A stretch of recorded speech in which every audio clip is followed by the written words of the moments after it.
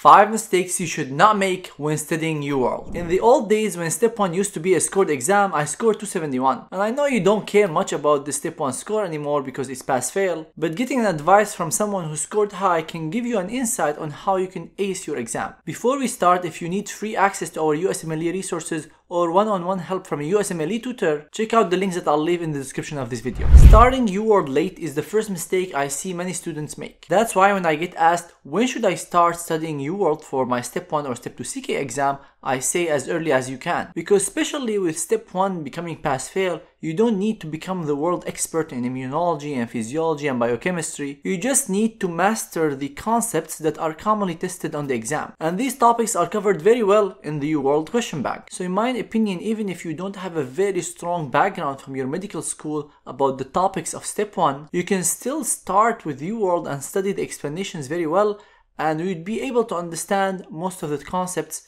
in the explanation. And if you have any difficulty understanding certain parts of it, you can ask ChatGPT, you can search for a picture online, but UWorld does a good job in explaining the concepts even if you're a beginner for that topic. Also, their images and tables helps facilitate understanding of these concepts even if you're not familiar with it or you don't have a strong background about it. And after doing all that, if you're still having difficulty with certain concepts, I recommend you get a USMLE tutor. Because yes, you can go ahead and study a whole book uh, about one of these topics to make you understand the UWorld explanation, but that's gonna take you a ton of time. So instead of wasting a whole year studying additional resources, you'd rather get a USMLE tutor who can help you with these difficult concepts that you're facing and that would save you so much time. And if you want to check out our USMLE tutoring service, it's 100% satisfaction guarantee, which means if you're not happy, we give you your money back, no questions asked. And I'll leave the link for it in the card above and in the description below. But again, the USMLE tutor should be your second line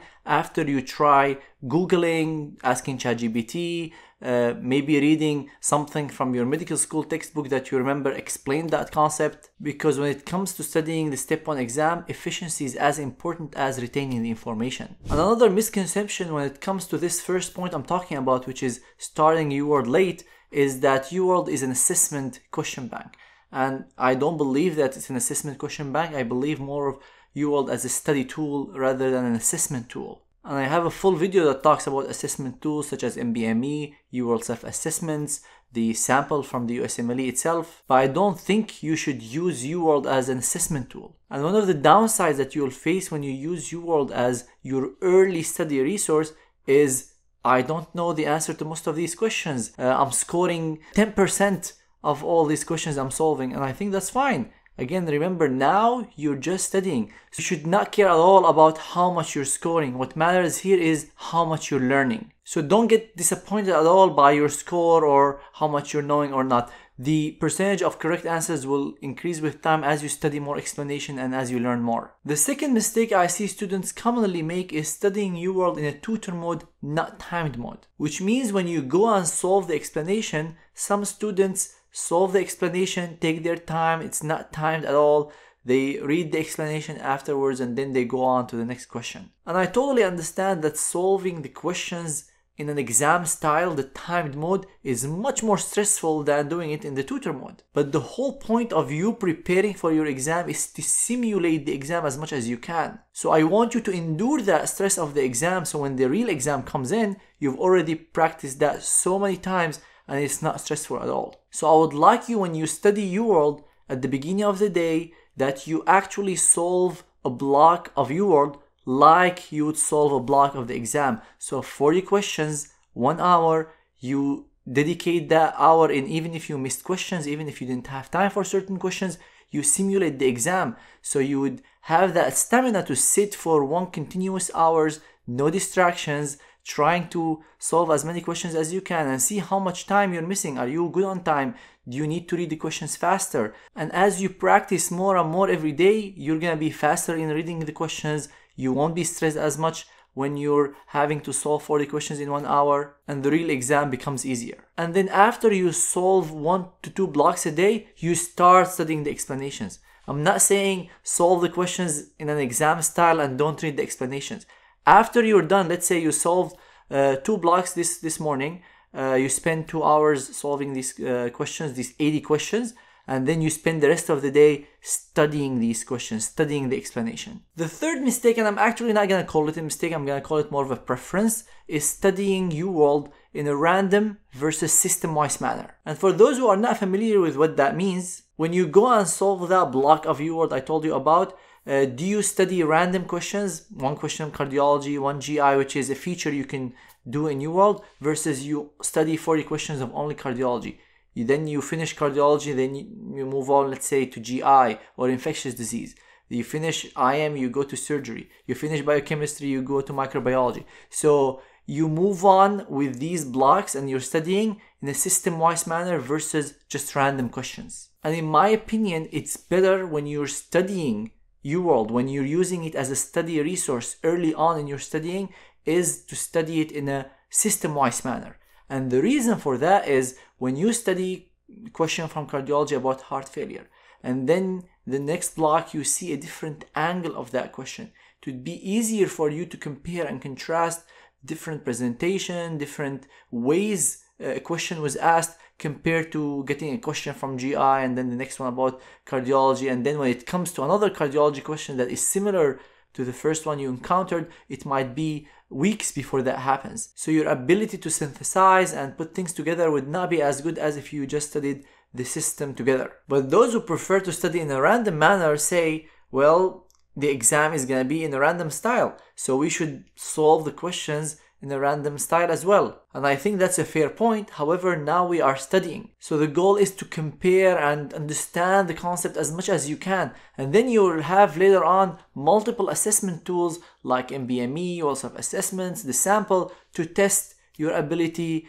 to do random style questions. And I and many people who studied the UWorld in a system-wise manner had no problem at all. There was not even an adjustment period for studying, for solving questions in a random style manner. The fourth mistake I see some students make, which is the explanation and the choices of UWorld. Because some people are in the mentality of studying UWorld as an assessment tool, not a study tool, they glance quickly over the explanation or they only read the educational objective and they don't study the explanation. Remember, the purpose of UWorld is not only to know whether you answered the question correctly or not, but to comprehend everything that is in the explanation and more importantly, know why the other questions were wrong. For example, in a question about dementia, it's very important to understand why the answer to this question was Alzheimer, not vascular dementia or Parkinson. And when they explain these options and choices to you, they tell you why in the presentation this would not fit a vascular dementia or Parkinson.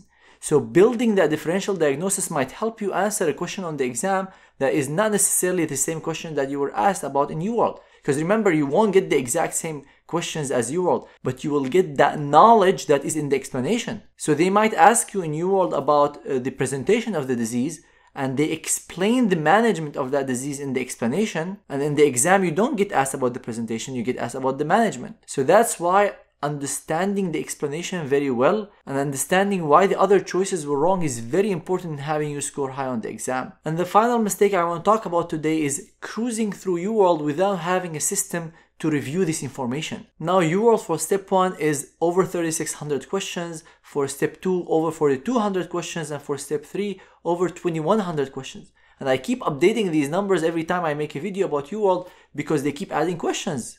So do you think you'll be able to study these 3600 questions very well with the explanation and then go back and review the whole question bank? Also, once you went through the question bank once, you would lose the value of repeating the question bank and trying to solve the questions because you already read the answer a few months back. So there is not much value of trying to just repeat solving the questions, but there is value in reviewing the information in these questions. But if you did not build any system to review this information, you would have to go through the explanation of over 3600 questions, which is extremely time consuming. That's why I recommend you build your reviewing system very early on with the first UWorld question that you solve. I'm not a big advocate of sitting and writing pages and pages of information because that's very time consuming. So what you can do is do an electronic version of that. And UWorld allows you to copy paste uh, pieces of information or even pictures and tables into their own notebook and you can also build flashcards using UWorld and you can use these to review after you go through the first round of UWorld. And you will become more efficient in the way you put information in and that's also a value of doing a system-based model because if you just studied the question about heart failure and then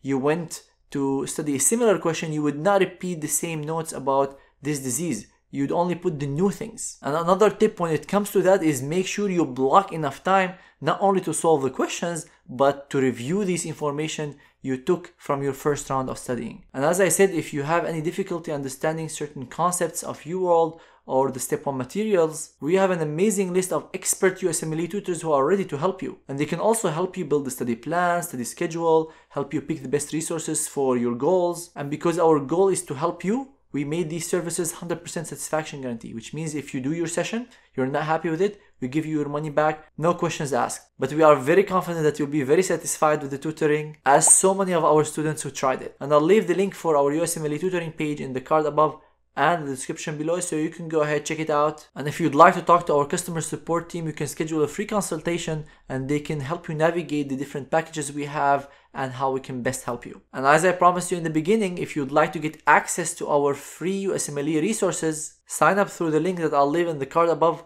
and in the description below put your email and name and you will get these resources delivered to your inbox fully for free. If you find any value in this video, I would really appreciate it if you hit the like button, subscribe to the channel, and hit the bell sign so you get notified whenever I post future videos on my YouTube channel. Before you go, make sure to watch the video that I recorded on how to study step 1 in 4 months and you can watch it by clicking here. Thank you everyone so much for watching and good luck on your exam.